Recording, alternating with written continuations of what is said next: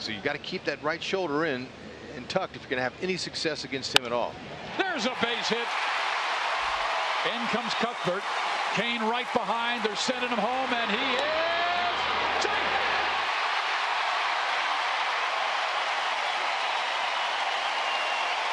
Eric Hosmer comes through.